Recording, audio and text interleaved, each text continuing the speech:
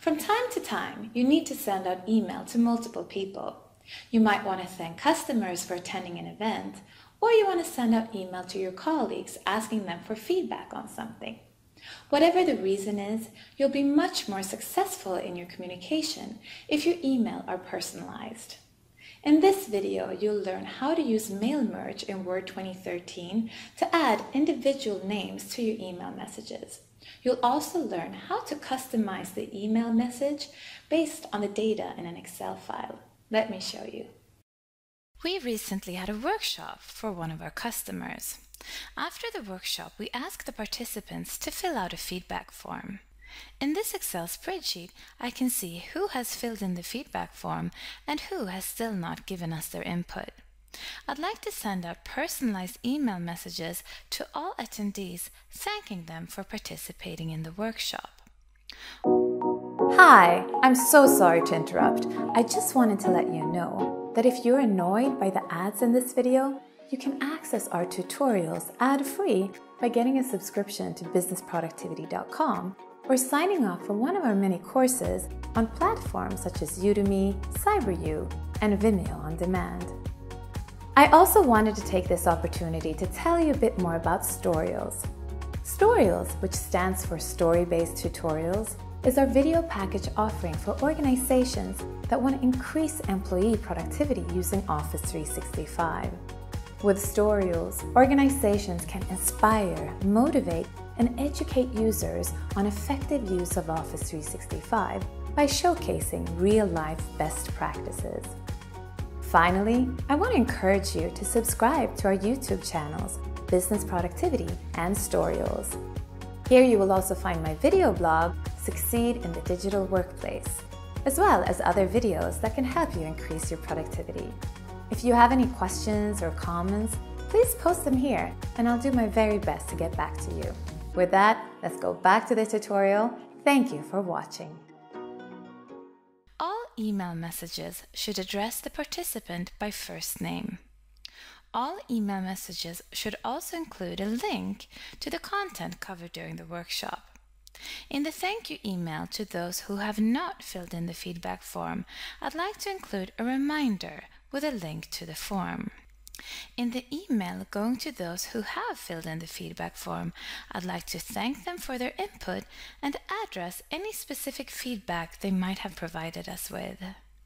Even though I'm going to use Outlook to send the email messages, I'm going to use Mail Merge in Word 2013 to automate the process of personalizing the email. To start the mail merge, click the Mailings tab and then select Start Mail Merge and then Email Messages. Next, I'll select my recipient list. I'll click Select Recipients, use an existing list, and select the feedback spreadsheet I have open.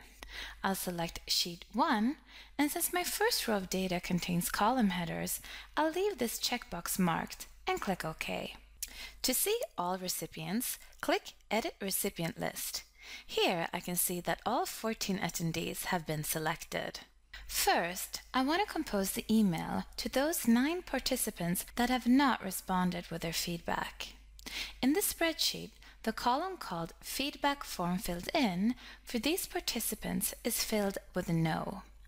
To select only these participants, I'll click Filter and in the field drop-down, I'll select the field Feedback Form Filled In and write equal to No in the Comparative field. Then I'll click OK. Now you can see that only the participants that have not provided their feedback have been selected for the mail merge. I'll click OK, and now I can compose the personalized email messages to these nine participants. First, I want to greet each participant by first name. I'll click Greeting Line, and then leave the default, which is Dear, and then select the first name, Joshua, which is just a sample first name. Here, I get a preview of my own recipients. I'll click OK, and the greeting line is inserted into my email message. Now, I'll copy some of the text that I've already written in my draft email message. I'll mark the text, including my email signature, right-click and copy. And then I'll go back to Word, right-click and paste, keeping source formatting. I want the whole email to have the same formatting, so I'll just mark some of the text from my email, click the formatting paintbrush, and then paint the greeting line so that it has the same formatting as the rest of the email. To preview the results, click Preview Results on the Mailings tab. You can step through the recipients one by one or go to the very end to make sure you have them all. Before the email messages are sent, I want to have the ability to review them in my Outbox. So I'll disconnect Outlook by opening up Outlook and under the Send Receive tab, I'll click Work Offline. I'll go back to my Word document and click Finish and Merge and select Send Email Messages. Here, I'll enter the subject line. Thank you for attending the workshop and useful links. I'll keep the mail format as HTML, and I'll keep the default option, which is to send it out to all selected recipients, and then I'll click OK. As you can see, Word loops through all recipients, and if I now go to Outlook and open up my Outbox, you can see that the nine personalized email messages are there. Now I want to compose the email to those participants who have provided us with feedback. To change the selection of recipients, click Edit Recipient List, click Filter, and then change the criteria for your selection. Here I'll change the comparison field to Not Equal To and click OK. Now I can see that the remaining five participants have been selected from the Excel spreadsheet. I'll click OK, and then I'll open up the second draft email and copy the line thanking the participant for their feedback. Then I'll paste it into the email message. In addition to thanking them for their input, I also want to address specific feedback provided by each participant.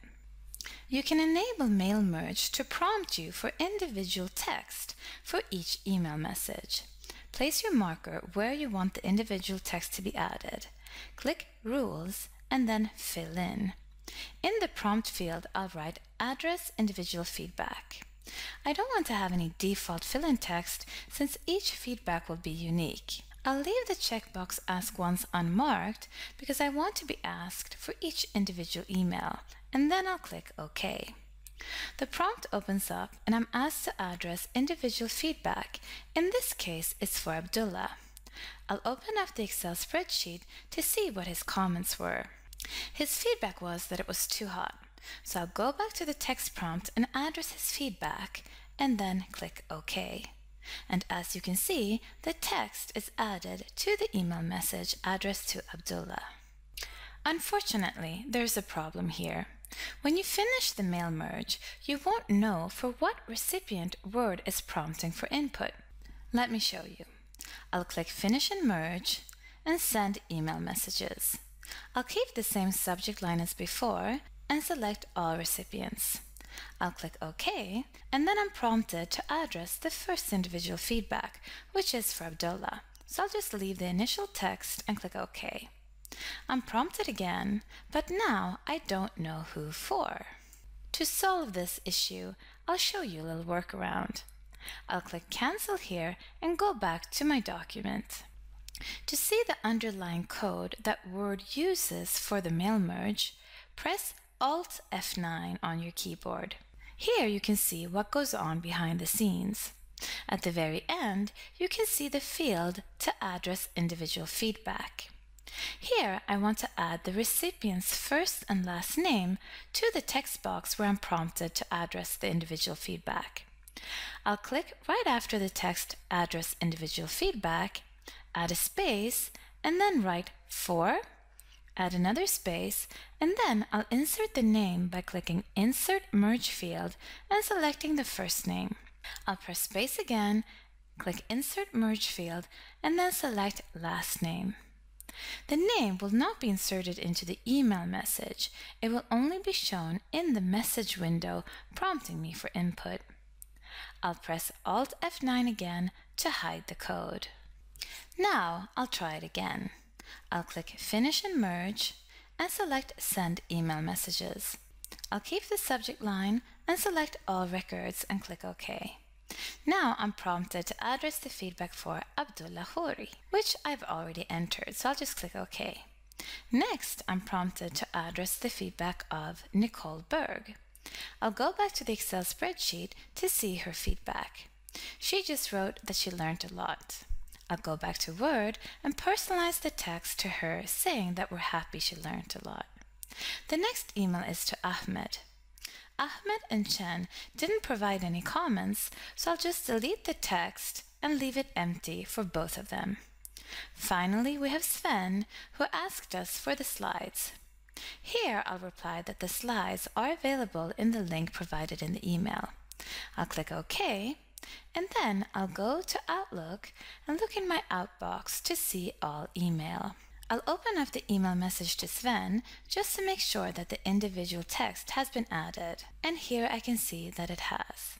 I'll click Send, and then when I've reviewed all of the email messages, I'll just click Work Offline to put Outlook back online to send the email. Using Mail Merge, you'll save a lot of time when personalizing email messages.